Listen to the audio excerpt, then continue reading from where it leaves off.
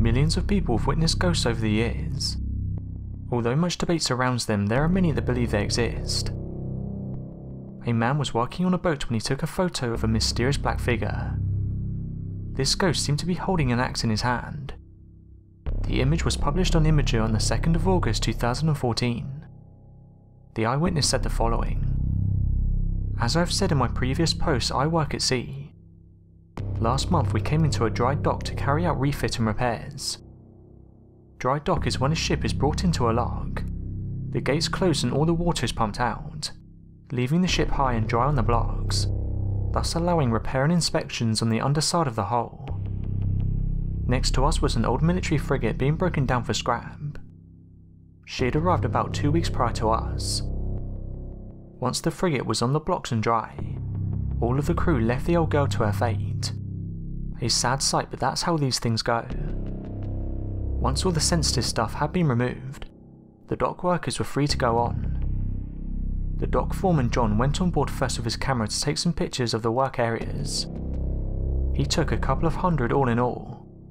This was one of them. He later sent all the pictures to his boss, who upon seeing this called John straight away asking who's the guy with the axe at the edge of the camera flash. John had no idea. He never saw anyone. The area where this picture was taken was in a cross alleyway, deep inside the ship. He was going around with a torch and a camera. When he'd go to take a picture, he would turn off the torch, leaving him in total darkness, snap the shot, turn the torch back on, and be on his way. Due to the fact that it was a military vessel, the police were called. A search was carried out, but no one was found. There was only one way on and off the ship, and this was by a gangway covered by CCTV. You couldn't jump over the side as it was a 25 metre drop onto concrete. No one was seen leaving the ship after John had taken this. I'm a skeptic. Maybe it's a trick of the flash reflecting off something, but if you really zoom in you can make out the face, ear, collar of his jacket and the axe.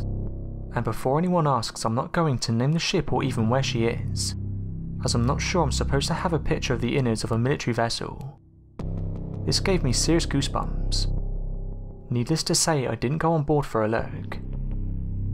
So what do you guys make of this photo? Let me know your thoughts in the comments.